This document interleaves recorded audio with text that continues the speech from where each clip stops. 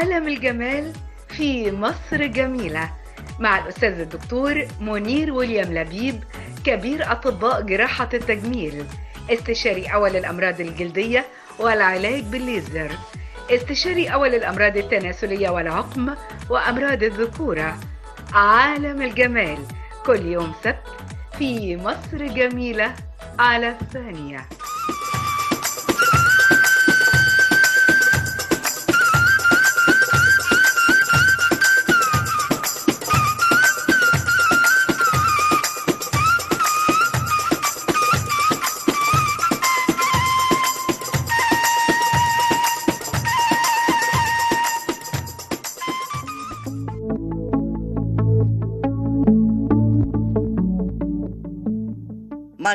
البورصة السلعية يضم العديد من المعارض والوكالات بالإضافة إلى ثلاجات ومحطات تصدير ومخازن تجارية. كما تضم البورصة منطقة صناعية كبرى لاستغلال الفاقد الزراعي بالسوق.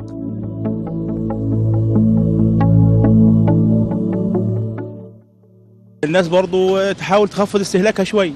بالتالي هتقل يقل الطلب على السلع وبعد كده السلع هتنزل سعرها. ومراقبه الأسعار من خلال التموين وخلال ال- الجهات الرقابية بقى. وبالنسبه لموضوع السيطرة على الأسعار دوت لازم يكون في رقابه شديدة شوية من الدولة بحيث إن هي تقدر تمر على كل الأماكن اللي بتبيع السلع الاستهلاكية.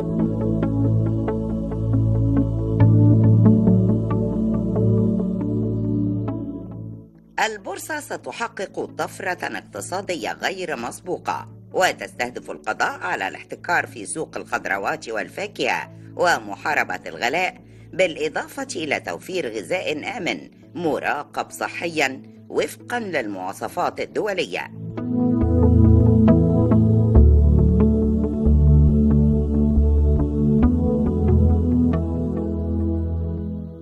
عمليه ضبط الأسعار خاصة مثلا تعال نتحدث عن مشروع مهم جدا بيهتم الرئيس عبد الفتاح السيسي في اللي هو إنشاء المناطق اللوجستية في المحافظات. وعندنا في أنا ب- كان بحكم إن أنا بغطي وزارة التموين آه، جهاز تنمية التجارة الداخلية هو القائم بأعمال دلوقتي إنشاء خريطة آه، بالمناطق اللوجستية على مستوى ال 27 محافظة. المناطق اللوجستية وإنشاء مراكز تجارية ومراكز خدمة وإنشاء سلاسل تجارية.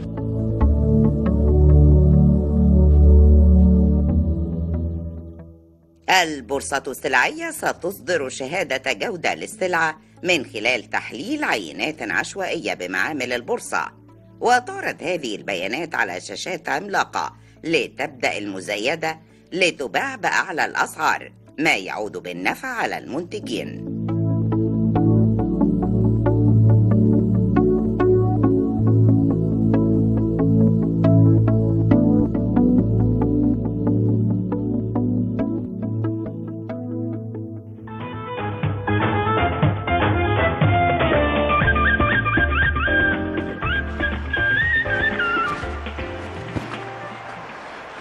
برجع لحضراتكم مشاهدينا في مصر جميلة وزي ما قلت العديد من الخطوات آه، في الدولة بتتم في الفترة الحالية من أجل تحسين اقتصاديات المواطن المصري ومواجهته لكافة التحديات الاقتصادية ويمكن من أكثر الأشياء اللي بتهمنا كلنا هي الأسعار وإزاي بيتم رقابة وضبط للأسعار. وخاصة بالنسبة للسلع الغذائية. آه، أعتقد ده شيء مهم جدا بالنسبة لنا كلنا. تواجد بورصة خاصة بالسلع الغذائية بالتأكيد إضافة كبيرة لابد إن إحنا نهتم بيها نشوف الدور اللي هتقدمه البورصة في هذا المجال. هل هتعتمد على آه، رقابة على آه، ال- السلع الغذائية المتواجدة في الأسواق وضبط الأسعار الخاصة بها هل هتهتم بجانب التصدير؟ وبالتأكيد ده هيكون ليه تأثير مباشر على الاقتصاد المصري. خلونا نعرف أكتر عن البورصة السلعية آه، في مصر. وبيسعدني يكون ضيفي اللي مشرفني الأستاذ فتحي السيد مرسي رئيس البورصة السلعية ونائب رئيس اتحاد الغرف التجارية المصرية رئيس غرفة البحيرة. أهلا بحضرتك. منورنا.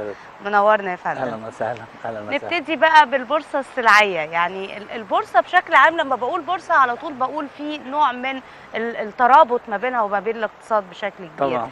البورصة السلعية آه، فكرتها والهدف من تواجدها. آه، هو إحنا من كنا من أقدم الدول آه، اللي موجود بها بورصات. تمام. وما ننساش إن إحنا كان عندنا بورصة القطن في اسكندرية صحيح. من 100 سنة أو أكتر من 100 سنة فاتوا. أما الدولة اما قامت ثورة يوليو والدولة آه، ابتدت تتدخل في كل حاجة يعني بقت آم، القطاع العام و و له القطاع الخاص إن هو يبقى موجود وحرية التجارة ابتدت آه، تقل آه، ابتدى تت- تتدهور تتدهور ال- البورصات فكرة البورصات آه، السلعية وبورصة القطن من ضمن الحاجات اللي اتقفلت عندنا. وبورصة الدواجن أيام الثورة اتقفلت. صحيح. يعني إحنا بدل ما بنتقدم آه، أما جاء الرئيس السيسي تنبه لهذا الموضوع آه، ات- اتكلم كذا مرة عن زيادة الأسعار وابتدى يحط إيده زي ما بيحط إيده على المشاكل اللي موجودة في الدولة حط إيده على سبب الغلاء. غلاء الأسعار إيه؟ أكبر مشكلة بتقرق بتؤرق المواطن العادي اللي هو البسيط جدا الأسعار. جدا. أسعار الخضر والفاكهة. صحيح. لأنه بيشتريها كل يوم. صحيح. كل يوم يشتري طماطم وبطاطس وخيار وكذا وكذا. احتياجاته الغذائية احتياجاته يعني الغذائية. من لا يملك قوته لا آه. يملك قراره. فطبعا أما يبقى هيحصل تفاوت في الأسعار بتاعتها بطريقة غير منضبطة دي بتأثر على على ميزانية الأسرة. تمام. الناس مش عارفة تعيش. الرئيس اهتم بهذا الموضوع وابتدى يتواصل معانا في في الجهاز الرئاسي ابتدى يتواصل معانا بيتواصلوا معانا شهريا بنقابلوهم. متواصلين معانا في علشان يشوفوا إيه متطلبات إيه إيه المعوقات في تنفيذ هذا المشروع. تمام. آه، المشروع ده طبعا بيعمل حاجات كتيرة جدا. بيحسن الاقتصاد آه، بيعمل در... بيعمل دراسات آه، وسائل جودة. ما عادش إن إحنا نوفر المنتج بس لأ. جودة المنتج كمان دي هامة جدا جدا. يعني حضرتك طبعا لا يخفى عليكي ويمكن كلنا كمصريين عانينا في السنين اللي فاتت دي في الثلاث أربع سنين اللي فاتوا دول. تيجي في الصيف تاكلي بطيخ يجيلك إسهال تاكلي آه، خوخ يجيلك إسهال.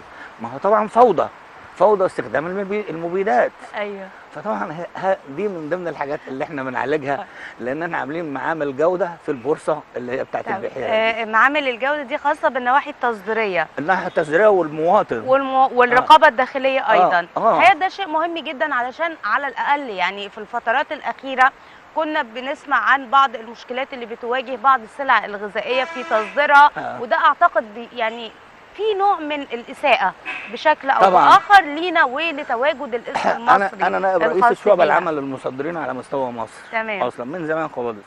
ويهمني جدا إن التصدير ده ينجح. تمام. وإحنا لما بنفقد سوق لما بنفقد سوق بنقعد عشرات السنوات عشان نستعيد صحيح. هذا السوق صحيح. مرة أخرى. عندك حق وأعتقد ده شيء مهم جدا خصوصا كمان يا فندم في ظل مشروعات قومية. يعني آه. لما بتكلم عن آه، مشروعات تنمية زراعية زي آه، المليون ونص مليون فدان طبعاً.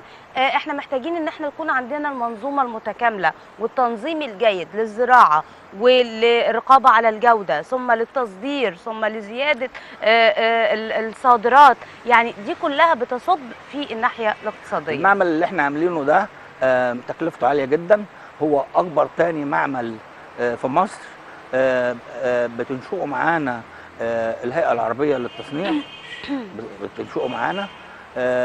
وده واخد آه، واخد آه، موافق واخدين بيه موافقة الاتحاد الأوروبي تمام أصلا يعني معتمد من الاتحاد الأوروبي يعني المنتجات اللي هتتفحص عندنا معتمدة في الاتحاد الأوروبي وإن شاء آه، الله آه، مش هيعاد فحصها مرة ثانية خلاص بقى.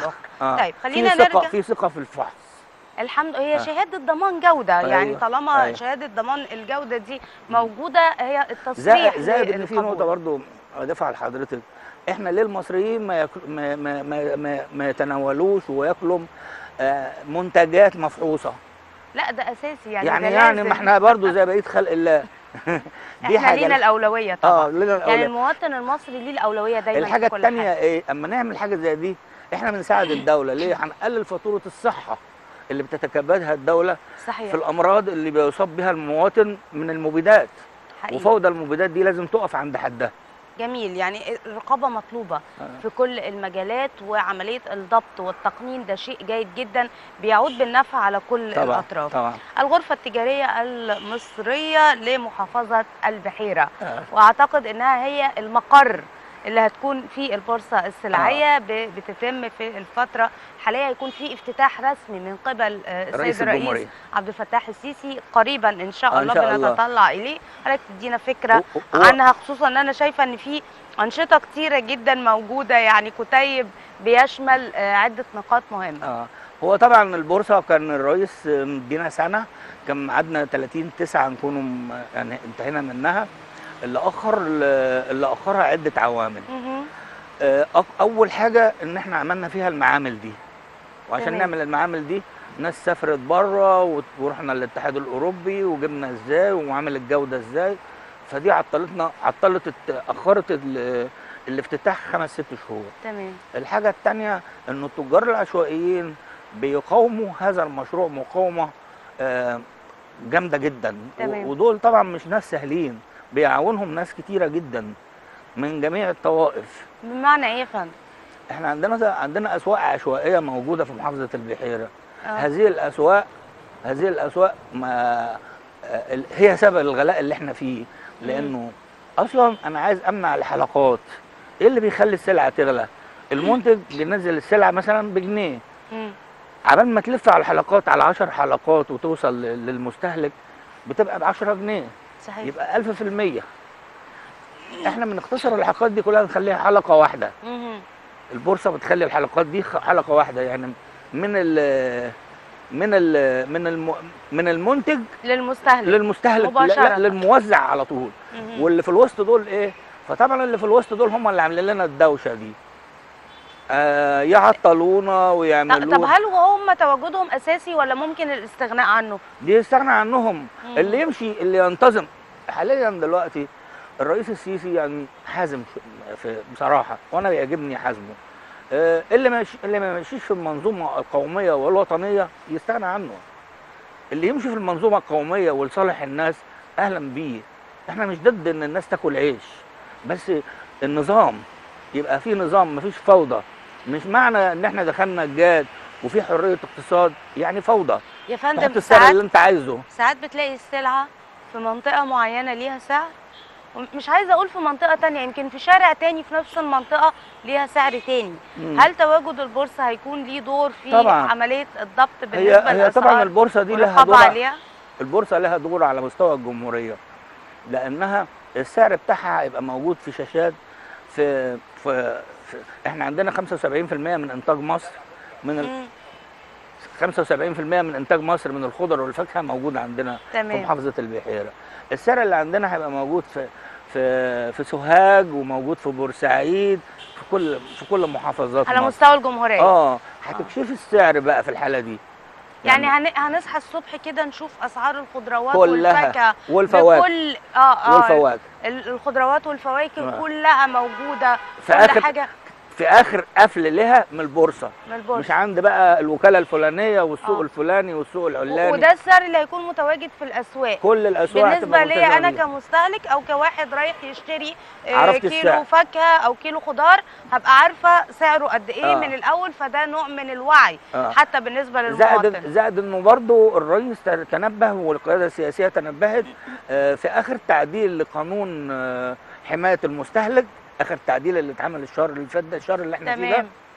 حط ضوابط لل- للي بيزود السعر. يعني مش معنى إن مفيش تسعيرة إنك تحط السعر اللي على مزاجك وتستغل الناس. آه. فتحط ضوابط في قانون حماية المستهلك الأخير لهذه الجزئية. تمام. آه، بتحدد نسبة معينة آه نسبة أو معينة. واللي ما. يلتزمش بالسعر إيه واللي يحط بضائع مخالفة إيه واللي يغش ويدلس إيه كل ده اتحط له ضوابط في القانون اللي هو طالع لسه طالع. قانون تمام. حماية المستهلك. تمام. زي ما حضرتك تفضلت وقلت إحنا كمان عندنا في البورصة شهادات ضمان جودة آه. لتنمية الصادرات الزراعية آه، و- وحماية. المواطن المصري. وحماية المواطن المصري. بس أنا خليني أتكلم عن جزئية الصادرات دي. هل بنركز على منتجات معينة. هل بيكون في نوع من التخطيط من قبل حضراتكم من قبل وزارة الزراعة آه، لتوفير كميات معينة للتصدير لأماكن معينة؟ إحنا بنفتح أسواق دلوقتي في كافة آه، ال- الدول يعني الدول الإفريقية تحديدا. آه، إيه المخطط لهذا الموضوع؟ إحنا طبعا ما عندناش حظر آه، لل و... و... و... وإجراءات حمائيه للتصدير إلا في حاجات في سلع قليلة جدا. زي الرز كده. لأنه أصلا أصلا مشكلة الرز ده اللي هو مش فاهم يقول لك إحنا ليه بنمنع تصدير الرز؟ إحنا ما بنمنعش تصدير الرز ولا حاجة. كل ما فيها إن الرز المصري ده مطلوب عالميا وسعره بره 7000 دولار. وكان سعره عندنا ان هو 2000 دولار. فطبعا الفرق حاجة كبيرة. والأسو... والأس... وال... وال... والرز الثاني العالمي إن كان في الهند في الصين في الدول الثانية ب 3000 و2000 و4000 بتاعنا ده غالي جدا. فطبعا ده فتح شهية ال- المصدرين على أساس إن أنا- مع إن أنا نائب رئيس الشعبه العامه آه. للمصدرين بس أنا ضد هذا الموضوع. آه فتح شهيتهم إن هم يصدروا والناس هنا ما تلاقيش تاكل والسعر يغلى هنا. آه. فإحنا ضد هذا الكلام فإحنا الحاجة الوحيدة اللي عاملين لها إجراءات حمائيه طب إيه إيه. إيه يعني إيه المبرر يا فندم؟ آه، بيغلى هنا. آه. ما هو لأن أنا لما. بصدر بقلل الكمية لا المعروضه أنا لما بصدر كله بيتكالب إنه يبيع للمصدرين. وما بيبقاش فيه توفير احتياجات السوق المحلي. السوق المحلي. زمان آه. إحنا كنا بناخد احتياجات السوق المحلي نحطها في المضارب. الوقت المضارب باعوا نص الأراضي بتاعتهم وعملوا كافيتريات وعملوا ال- الح- الأماكن الفاضية اللي في المضارب قاعات أفراح. فما بقاش عندهم أماكن يخزنوا حتى ولا فلوس. اذا لابد من الاهتمام في الأولوية بتوفير احتياجات المواطن المصري بتوفير احتياجات السوق المحلي تأتي بعد ذلك الخطوة الأخرى وهي جانب التصدير وده شيء مهم أنا جداً. طبعا مطلوب من أنا بناشد القيادة طبعا إحنا عندنا دعم جدا من السيد المحافظ آه، اللي هو هشام اللي جاء في. الحركة الأخيرة أيوة. دي وعندنا دعم قوي جدا جدا من المنطقة الشمالية في في اسكندرية للمشروع بتاع البورصة ده. تمام. دعم قوي جدا ودعم قوي جدا من من مديرية الأمن عشان القضاء على التجارة العشوائية.